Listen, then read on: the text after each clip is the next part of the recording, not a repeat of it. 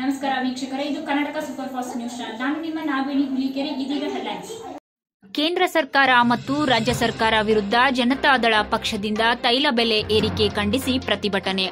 ವಿಜಯನಗರ ಜಿಲ್ಲೆ ಕೋಟೂರು ಪಟ್ಟಣದಲ್ಲಿ ಕೊರೋನಾ ಸೋಂಕಿನ ಮೊದಲನೇ ಮತ್ತು ಎರಡನೇ ಅಲೆಗಳ ಹರಡುವಿಕೆ ನಿಯಂತ್ರಣಗೊಳಿಸಲು ದೇಶ ಮತ್ತು ರಾಜ್ಯಾದ್ಯಂತ ಕ್ರಮವಾಗಿ ಕೇಂದ್ರ ಮತ್ತು ರಾಜ್ಯ ಸರ್ಕಾರಗಳು ವ್ಯಾಪಕವಾಗಿ ವಿಧಿಸಲಾದ ಸಂಪೂರ್ಣ ಲಾಕ್ಡೌನ್ನಿಂದ ಬಾಧಿತರಾಗಿ ಸಂಕಷ್ಟದಿಂದ ರಾಜ್ಯದ ಜನತೆ ಬಳಲುತ್ತಿರುವ ಸಮಯದಲ್ಲಿ ಕೇಂದ್ರ ಮತ್ತು ರಾಜ್ಯದಲ್ಲಿ ಆಡಳಿತಾರೂಢರಾಗಿರುವ ಸರ್ಕಾರ ಜನಸಾಮಾನ್ಯರ ರೈತ ಮತ್ತು ಕೂಲಿ ಕಾರ್ಮಿಕರ ಬದುಕಿನ ಮೇಲೆ ಬರೆ ಎಳೆಯುವ ತೈಲ ಇಂಧನ ಬೆಲೆ ಪ್ರತಿ ಲೀಟರ್ಗೆ ನೂರು ರೂಪಾಯಿಗಳ ಗಡಿ ದಾಟಿದ್ದು, ವಿದ್ಯುತ್ ದರ, ರಸಗೊಬ್ಬರ ಬೆಲೆ ಮುಂತಾದವುಗಳ ಬೆಲೆಗಳನ್ನು ಗಗನಕ್ಕೆ ಏರಿಸಿದ ಬೆಲೆ ಏರಿಕೆಗಳನ್ನು ಹಿಂಪಡೆಯಲು ರಾಜ್ಯ ಸರ್ಕಾರವನ್ನು ಆಗ್ರಹಿಸಿ ಕೊಟ್ಟೂರು ಪಟ್ಟಣದ ಬಸ್ ನಿಲ್ದಾಣ ಬಳಿಯಿಂದ ಪ್ರತಿಭಟನೆಯನ್ನು ಪ್ರಾರಂಭ ಮಾಡಿ, ತಾಲೂಕಾ ತಹಶೀಲ್ದಾರ್ ಕಚೇರಿಗೆ ಬಂದು ತಹಶೀಲ್ದಾರ್ ಮುಖೇನ ಮಾನ್ಯ ಮುಖ್ಯಮಂತ್ರಿಗಳಿಗೆ ಮನವಿ ಪತ್ರ ಸಲ್ಲಿಸಿದರು.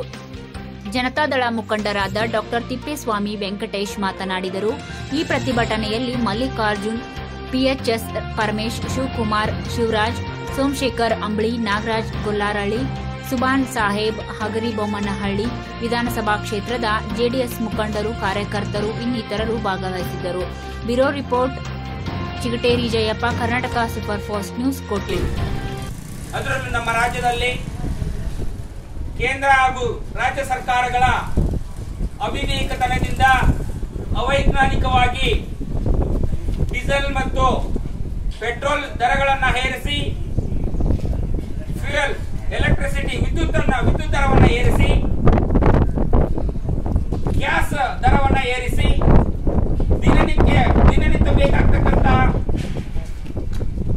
ವಸ್ತುಗಳಾದ ಅಡಿಗೆ ಎಣ್ಣೆ ಇರ್ಬೋದು ಬೇಳೆಕಾಳುಗಳಿರ್ಬೋದು ಅಕ್ಕಿ ಇರ್ಬೋದು, ಎಲ್ಲಗಳ ದರಗಳನ್ನ ಏರಿಸಿ ರಾಜ್ಯದ ಜನತೆಯನ್ನ ದುಸ್ತರವಾದ ಪರಿಸ್ಥಿತಿಯನ್ನು ಉಂಟು ಮಾಡಿರ್ತಕ್ಕಂತ ಈ ನಿಟ್ಟಿನಲ್ಲಿ ಆ ಎರಡು ಸರ್ಕಾರಗಳ ವಿರುದ್ಧ, ಕೇಂದ್ರ ಹಾಗೂ ರಾಜ್ಯ ಸರ್ಕಾರಗಳ ವಿರುದ್ಧ ರಾಜ್ಯದಾದ್ಯಂತ ಪ್ರತಿಭಟನೆಯನ್ನ ಹಮ್ಮಿಕೊಳ್ಳಿಕ್ಕೆ ಇವತ್ತೇನು ವರಿಷ್ಠರು, ನಮ್ಮ ಪಕ್ಷದ ವರಿಷ್ಠರು ಆದೇಶ ನೀಡಿದ್ದಾರೆ. ಆ ನಿಟ್ಟಿನಲ್ಲಿ ಇವತ್ತು ರಾಜ್ಯದಾದ್ಯಂತ ಪ್ರತಿಭಟನೆಯನ್ನು ಹಮ್ಮಿಕೊಂಡಿದ್ದೀವಿ ಅದೇ ರೀತಿಯಾಗಿ ನಮ್ಮ ಒಂದು ತಾಲೂಕಿನಲ್ಲಿ ಕೂಡ ಇವತ್ತೇನು ಈ ಪ್ರತಿಭಟನೆಯನ್ನು ಹಮ್ಮಿಕೊಂಡಿರ್ತಕ್ಕಂಥ ಈ ಸಂದರ್ಭದಲ್ಲಿ ಭಾಗವಹಿಸಿರ್ತಕ್ಕಂಥ ನನ್ನ ಪಕ್ಷದ ನಿಷ್ಠಾವಂತ ಮುಖಂಡರುಗಳಿಗೆ ಮತ್ತು ಕಾರ್ಯಕರ್ತಗಳಿಗೆ ನಮ್ಮ ಮೊಟ್ಟ ಮೊದಲಾಗಿ ನಮಸ್ಕರಿಸುತ್ತಾ ಬಂಧುಗಳೇ, ಪ್ರತಿಯೊಬ್ಬ ಜನಸಾಮಾನ್ಯರು ಕೂಡ ಇವತ್ತು ಅತ್ಯಂತ ಶೋಚನೀಯ ಪರಿಸ್ಥಿತಿಯನ್ನ ಎದುರಿಸ್ತಾ ಇದ್ದಾರೆ ನಮ್ಮ ರಾಜ್ಯದಲ್ಲಿ. ಇವತ್ತೇನು ಸರ್ಕಾರ ಬೆಲೆ ಏರಿಕೆ ಮಾಡಿದೆ. ಡೀಸೆಲ್ ಮತ್ತು ಪೆಟ್ರೋಲ್ ಬೆಲೆ ಏರಿಕೆ ಮಾಡಿದೆ. ಬಹಳಷ್ಟು ನನ್ನ ಸ್ನೇಹಿತರು ಬೇರೆ ಪಕ್ಷದವರು, ಅದೇ ಪಕ್ಷದಲ್ಲಿ ಅದೇ ಪಕ್ಷದ ಕಾರ್ಯಕರ್ತರು ಹೇಳ್ಕೋಬಹುದು ಡೀಸೆಲ್, ಪೆಟ್ರೋಲ್ ಏರ್ಸ್ಬಿಟ್ರೆ ಎಲ್ಲ ಜನಜೀವನ ದುಸ್ತರ ಆಗ್ಬಿಡ್ತದ ಅಂತೇಳಿ ಬಂಧುಗಳು ಹೇಳ್ತೀನಿ. ಇದು ಎಷ್ಟು ಮಟ್ಟಿಗೆ ಪ್ರತಿಯೊಂದು ಹಂತದಲ್ಲಿ ಕೂಡ, ಪ್ರತಿಯೊಂದು ವಿಭಾಗಕ್ಕೂ ಕೂಡ ಜನಸಾಮಾನ್ಯರಿಗೆ ಎಷ್ಟು ತೊಂದರೆ ಆಗ್ತದೆ ಅಂದ್ರೆ ಕೇವಲ ಡೀಸೆಲ್ ಮತ್ತೆ ಪೆಟ್ರೋಲ್ ಏರಿಕೆಯಿಂದ, ಬೆಲೆ ಏರಿಕೆಯಿಂದ. ರೈತ, ವ್ಯವಸಾಯ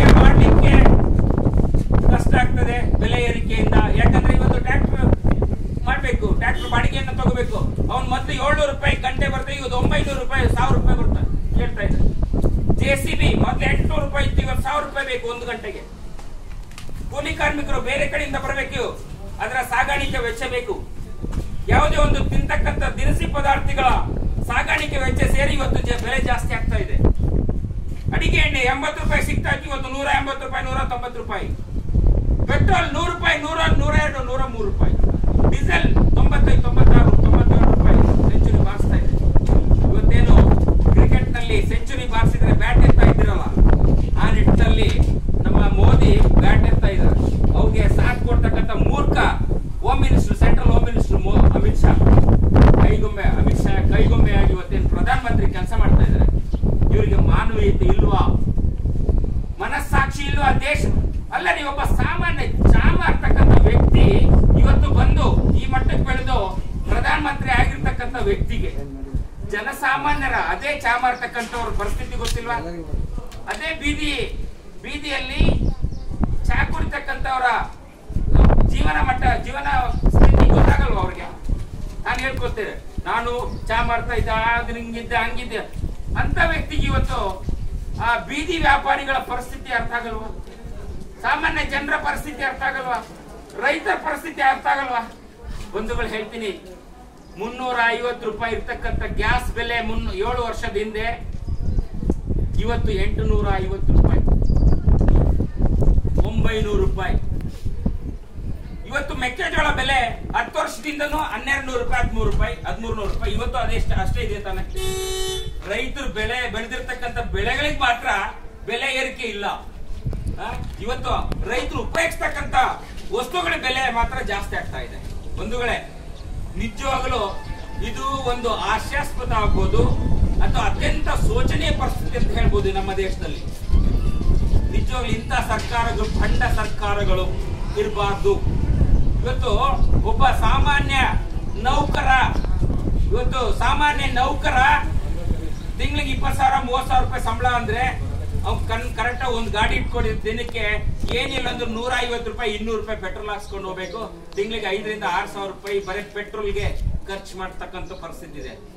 ಅತ ಅಲ್ಲ, ಇಂಥ ಪರಿಸ್ಥಿತಿನ ಭ್ರಷ್ಟಾಚಾರದ ಮಾಡ್ದಂಗೆ ಇರಕ್ಕಾಗುತ್ತಾ? ಖಂಡಿತ ಮಾಡ್ತಾರೆ. ಇದನ್ನ ನಾನು ಒಪ್ತಾ ಇಲ್ಲ. ಅಂದ್ರೆ ಸರ್ಕಾರನೇ ಅವ, ಏನೋ ಅದಕ್ಕೆ ದಾರಿ ಮಾಡ್ಕೊಡ್ತಾ ಇದೆ. ನೌಕರರಿಗೆ ನೀನ್ ಲಂಚ ಹುಡ್ಕೋ, ನೀನ್ ಭ್ರಷ್ಟಾಚಾರ ಮಾಡು, ರಾಜಕಾರಣಿಗಳಿಗೆ ನೀನ್ ಕಮಿಷನ್ ಹುಡ್ಕೋ ಅಂತ ಅವರೇ ದಾಳಿ ಮಾಡಿಕೊಟ್ಟು ಇವತ್ತು ನೌಕರರಿಗೆ ಸಾಮಾನ್ಯ ಜನರು ಒಂದು ಹೊಟ್ಟೆ ಮೇಲೆ ಹೊಡ್ತಕ್ಕಂತ ಒಂದು ಪರಿಸ್ಥಿತಿ ಇವತ್ತು ಉಂಟಾಗಿದೆ. ಬಂಧುಗಳು ಹೇಳ್ತೀನಿ, ಎಷ್ಟಪ್ಪ ಸುಳ್ಳು ಹೇಳಿದ್ರಿ ನೀವು ಮೋದಿ ಅವರೇ ಹದಿನೈದು ಲಕ್ಷ ಹಾಕ್ತೀವಿ ಅಂತ ಹೇಳಿದ್ರು ಪ್ರತಿಯೊಂದು ಅಕೌಂಟ್ಗೆ. ಹೆಂಗ್ ಹಾಕ್ತೀರ ಅನ್ನೋ ಯೋಚನೆ ಕೂಡ ಮಾಡ್ಲಿಲ್ಲ. ಸುಮ್ಮನೆ ಬಾಯಿ ಬಂದಂದು ಹೇಳ್ಬಿಡೋದು ಅಧಿಕಾರಕ್ಕೋಸ್ಕರ. ಹದಿನೈದು ಸಾವಿರ, ಎಷ್ಟು, ಹದಿನೈದು ಲಕ್ಷ ಒಂದು ಒಬ್ಬರಿಗೆ ಅಂತಂದ್ರೆ ಹೆಂಗ್ ಬರ್ತದೆ, ಯಾವ ಕಡೆಯಿಂದ ಬರ್ತದೆ ಏನ್ ಹೇಳಿಲ್ಲ. ಅದು ಓಟ್ ಬೇಕಿತ್ತು, ಹೇಳಿದ್ರು.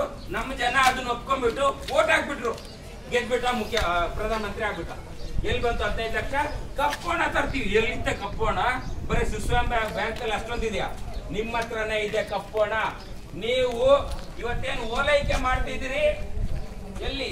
ಇವತ್ತು ಉದ್ಯಮಿಗಳು, ಅವ್ರ ಹತ್ರ ಇದೆ ಕಪ್ಪೋಣ ಇವತ್ತು ರಾಜಕಾರಣಿಗಳಿದ್ದಾರೆ ಕೆಲವಷ್ಟು, ಭ್ರಷ್ಟಾಚಾರ ಮಾಡ್ತಕ್ಕಂಥ ಅವ್ರ ಹತ್ರ ಇದೆ ಕಪ್ಪೋಣ ಅವನ್ನೆಲ್ಲ ತಗೊಂಡ್ ಬಂದ್ರೆ ಇವತ್ತು ಕಪ್ಪೋಣ ಬರ್ತಕ್ಕಂಥದ್ದು ವಿನ ಯಾವ್ದು ಸ್ವಿಸ್ ಬ್ಯಾಂಕ್ ಒಂದೇ ಅಲ್ಲ ಕಪ್ಪೋಣ ಇರೋದು.